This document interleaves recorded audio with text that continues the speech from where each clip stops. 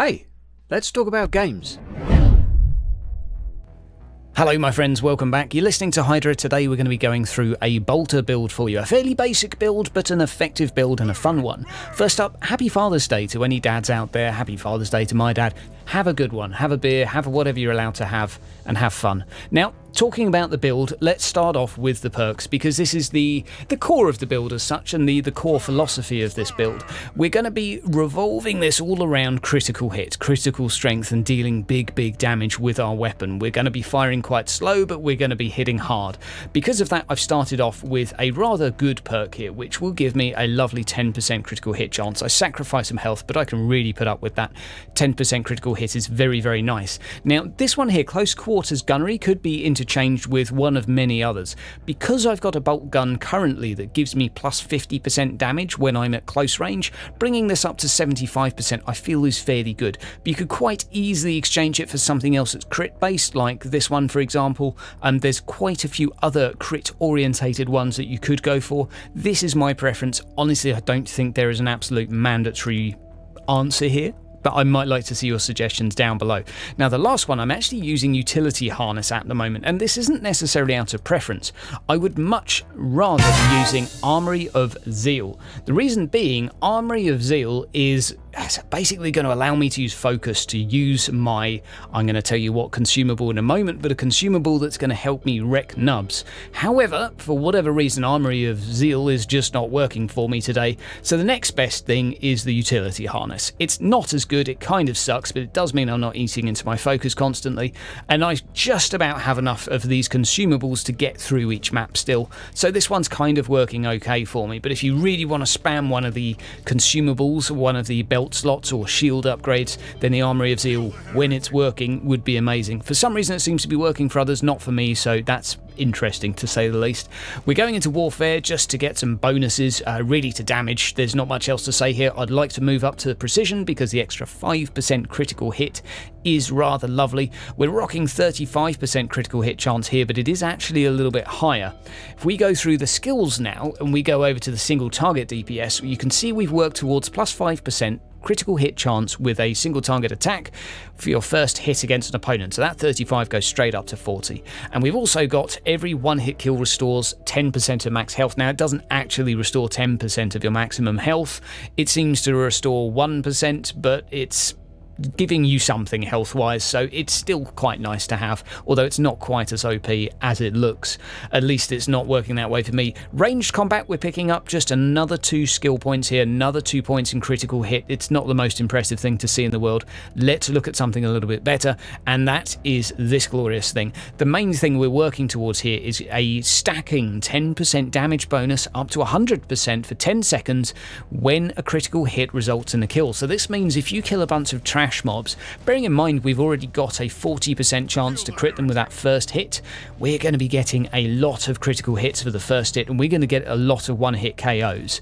This is then going to stack up that damage quite quick and then you can pop those elites a lot faster. So I'm really, really digging this build. We're also going with critical hits providing that focus point regeneration. So it does mean that you could even use this with a rapid fire weapon, something like an auto gun in your offhand, and the amount of critical hits you'd be pumping out with the same build, the same build would work, I think, absolutely fine with an auto gun. You'd be regenning a lot of focus, and you could potentially use that to then go with the Armory of Zeal and complement that by giving you even more charges of, say, your Void Shield or your da da da da. Let's talk about it now. We're going to be going with digital weapons, which are, I think, very, very good 30% critical hit chance for 30 seconds. It doesn't sound amazing. Maybe it does sound amazing, actually. To me, it sounds amazing because that buffs me up from, remember, we go up to 40% for the first hit, up to 70. So that is a whopping great big number, and there are ways as well to increase this number further. I don't actually have a lot of critical hits on my current gear, so that's also looking pretty nice.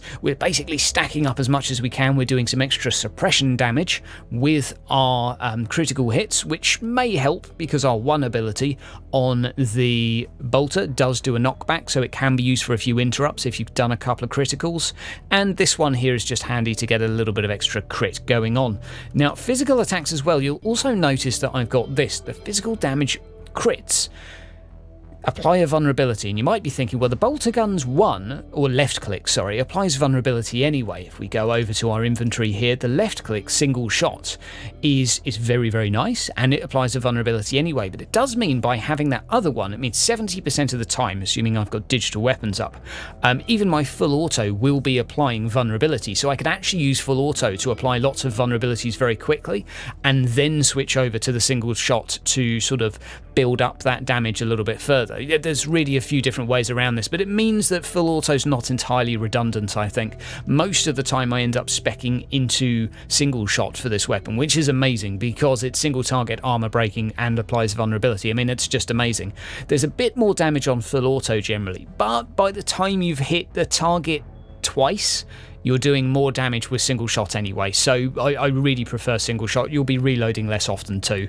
It's just very, very nice. Aim shot as well, very, very nice. But I generally find you're normally using single shot or frag burst. But having that extra point in the physical tree, applying those um, stacking vulnerabilities on crit, for me makes full auto a little bit more worthwhile, especially when you do find some lightly armoured and it's still a single target ability. Now, ah, and don't forget the special up here, which is which is not bad, a stacking 10% damage bonus up to 50%, maximum one token per second, attacking different targets navigates the bonus, etc. So just basically this, this is a boss killer. This is something useful for wailing on a one unit and stopping that fight from taking forever it's just going to speed it up a little bit, provided you don't keep switching targets to kill the Nurglings, etc. Now, we move on to focus regeneration here. This is really just to keep the focus regen in there. Yes, we're getting some per crit as well, but more the merrier, really, more the merrier. And I have really grown attached to Invigorating Faith, which is probably not mandatory, but having the extra healing on your armor usage, even though I've got the reduced cost, it's still very nice for me, and it may even mean that it could synergize with the Armory of Zeal, meaning whenever you pop those digital weapons, it also acts like a heal. This again is assuming Armour of Zeal actually works for you, uh, unlike myself.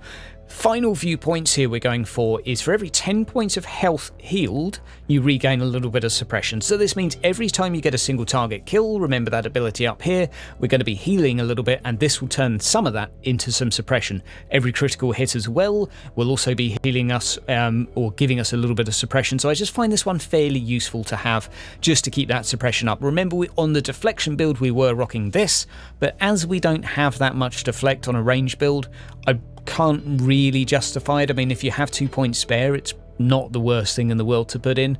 But it, hey, it could be better. Now, last few points I'm going to pop in one, two, three, four, which are going to make our armor breaking and armor piercing attacks do another 12% damage, 3, 6, 9, 12. And that for me is pretty damn good because the left click and the number one ability both are armor piercing or armor breaking, which means both of them are going to get 12% flat off damage bonus. Lovely jubbly. And as well as that, as well as doing 50% extra critical hit suppression damage, we're going to be doing an extra 50% suppression damage with our left click and one ability. So this really gives us the opportunity to actually destroy some suppression and use our interrupt rather than having it void. So for me, this one's just a, handy convenience that's here. I would change this build up for the Assassin a little bit. There's lots of different ways you could do it. I think debuff stacking with the Assassin and having the ability here that gives you more critical hit percentage um, would work very nicely because obviously you would probably want to swap out the focus regeneration here. Um, so I would probably swap that out and I would move that up into the debuff tree and start heading up to one of these. Other than that, I'd probably keep the build pretty similar. There are obviously some variants you could do off this. You could probably take the physical attack out of this tree and start going a little bit more into the ranged combat, there are some good things in here. There are definitely some good things. You could definitely make this build work with numerous different weapons as well. It could be used with las weaponry. Obviously, you could swap the physical to a heat. Um, you could probably make it work with most solid projectile weapons. Auto guns would be fine with it. Las rifles, hotshot las rifles, even snipers would probably do fine with this. But the core philosophy is the same. Keep your adrenaline or your focus up nice and high and keep spamming those digital weapons because having that critical percent that high really is powerful. Obviously on the Assassin you may, well you won't have access to the Armour of Zeal, instead you'll have to have the dodge uh, or deflect that gets converted then into extra, or enemy hits against you get converted into extra adrenaline and dodged ones give you slightly less. That would also be quite useful, but you may want to, you know, build a little bit more tanky if you're actually intending on taking damage to regen adrenaline. But just a thought, guys, there is a few different ways you could tweak this. You could maybe even tweak it as well with a HP regen converted into adrenaline regen, which is one of the other perks, and for the life of me, I can never find it.